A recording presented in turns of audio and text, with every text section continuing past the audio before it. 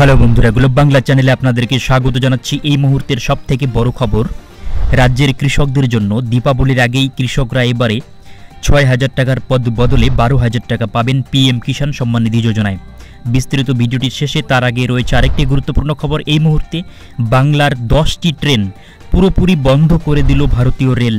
কোন কোন রেল বন্ধ হলো তার লিস্ট এই ভিডিওটিতে আপনাদেরকে জানা জানাব। অবশ্যই শেষ পর্যন্ত ভিডিওটি দেখবেন। চ্যানেলে নতুন হয়ে থাকলে সাবস্ক্রাইব করতে ভুলবেন না। ভিডিওটি শেয়ার করে সকলকে জানানোর সুযোগ করে দেবেন।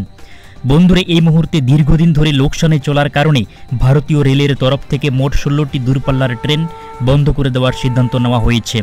এই ষোলোটি দূরপাল্লার ট্রেনের মধ্যে দশটি রয়েছে পশ্চিমবঙ্গের। তো এই মুহূর্তে কিন্তু সবথেকে বড় খবর ভারতীয় রেলের তরফ থেকে জানানো হয়েছে, যে সকল ট্রেনগুলি বন্ধ করে দেওয়ার সিদ্ধান্ত নেওয়া হয়েছে, সেইগুলিতে পর্যাপ্ত যাত্রী হচ্ছিল না। পর্যাপ্ত যাত্রী না হওয়ার কারণে দীর্ঘদিন ধরে লোকসানের মুখ দেখছে রেল। এই অবস্থায় এই সকল ট্রেনগুলিকে চিহ্নিত করার জন্য সেগুলিকে পুরোপুরি বন্ধ করে দেওয়ার সিদ্ধান্ত নেওয়া হয়েছে। দূরপাল্লার যে ট্রেন বন্ধ করে দেওয়ার সিদ্ধান্ত নেওয়া হয়েছে, সেগুলি মূলত পশ্চিমবঙ্গ, বিহার এবং ঝাড়খণ্ডে চলাচল করে।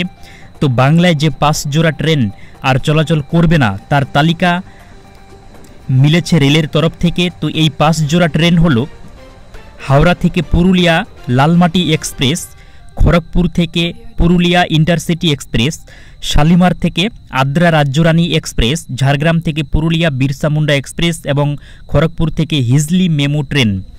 এই পাঁচ জোড়া ট্রেন অর্থাৎ দশটি ট্রেন পুরোপুরি বন্ধ করে দিল ভারতীয় রেল।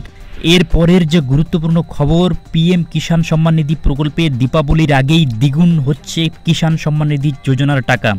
কৃষকদের জন্য অবশ্যই দারুণ সুখবর। দীপাবলির আগেই প্রধানমন্ত্রী নরেন্দ্র মোদী কিষাণ সম্মান নিধি যোজনার টাকা দ্বিগুণ করতে পারে তা কার্যকর হলে কৃষকরা বছরে ছয় হাজার টাকার বদলে বারো হাজার টাকা পাবেন। অর্থাৎ প্রতি তিন মাস অন্তর দুই হাজার টাকার বদলে চার হাজার টাকা পাবেন কৃষকরা। তো দীপাবলির মধ্যেই প্রধানমন্ত্রী নরেন্দ্র মোদী এমন ঘোষণা করতে পারে, এই প্রসঙ্গে বিহারের কৃষিমন্ত্রী জানিয়েছেন কিষাণ সম্মান নিধি যোজনার টাকা দ্বিগুণ করার জন্য সমস্ত প্রক্রিয়া প্রায় চূড়ান্ত হয়ে গিয়েছে।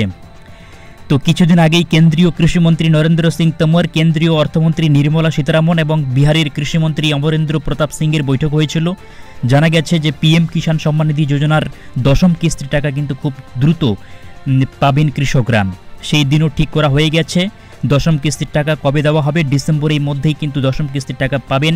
এখনও পর্যন্ত কেন্দ্রীয় সরকারের পক্ষ থেকে এগারো কোটি কৃষককে এক দশমিক পাঁচ আট লক্ষ কোটি টাকা হস্তান্তর করা হয়েছে। নরেন্দ্র মোদী সরকার পিএম কিষাণ সম্মান নিধি যোজনার টাকা আগামী পনেরো ডিসেম্বরের মধ্যে পাঠানোর চূড়ান্ত দিনক্ষণ ধার্য করেছে। বলা হয়েছে, যে কোনো গ্রাহক পিএম কিষাণ সম্মান নিধি যোজনার শেষ কিস্তির টাকা না পেয়ে থাকেন, তিনি তিরিশে অক্টোবর দু হাজার একুশ তারিখের মধ্যে নাম নথিভুক্ত করে নিতে পারবেন। তো যে সমস্ত কৃষক এখনও নাম নথিভুক্ত করেননি পিএম কিষাণ প্রকল্পে আপনারা তিরিশে অক্টোবরের মধ্যেই যদি আপনাদের নাম রেজিস্টার করিয়ে নেন বা এই প্রকল্পে আবেদন করেন, তাহলে কিন্তু আপনারা টাকা পেয়ে যাবেন পনেরো ডিসেম্বরের মধ্যে।